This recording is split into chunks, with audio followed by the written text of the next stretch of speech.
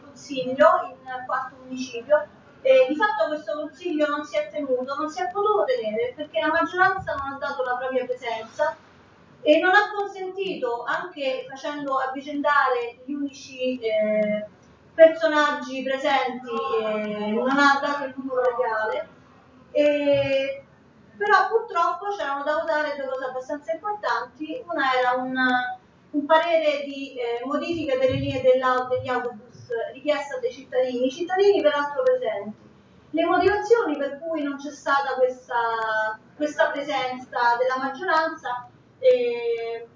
non è dato sapere, forse non volevano che si votasse e passasse un'istanza semplicemente votata dalle opposizioni e con poche eh, persone della maggioranza. Eh, noi questa cosa non la sappiamo, sappiamo che il Consiglio è stato rimandato a domani, dove di nuovo ci sarà questa votazione, ci sarà un nostro documento sul blocco degli sfratti delle caseate e aspettiamo domani per vedere che cosa succederà.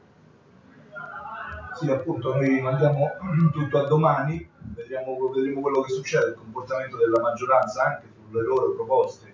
ossia il cambiamento di una linea che è uscita come parere dalla commissione, una commissione tra l'altro un po' anomala, vedremo domani il comportamento appunto di, di questi consiglieri che si permettono di, di, non venire, di convocare il consiglio, di non venire nonostante poi i cittadini siano presenti perché si convocano perciò le sedute sono pubbliche, i cittadini magari prendono anche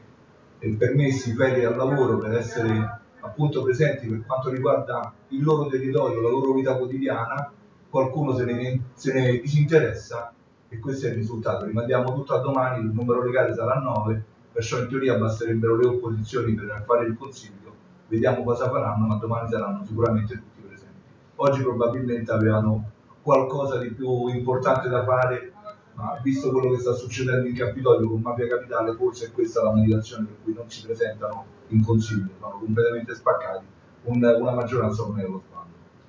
Diciamo che la maggioranza è lo sbando, ma anche a questo punto una maggioranza inefficace. Noi iniziamo anche ad essere stanchi perché le loro baghe di partito non ci interessano, perché il territorio ha bisogno di risposte, ha bisogno di risposte.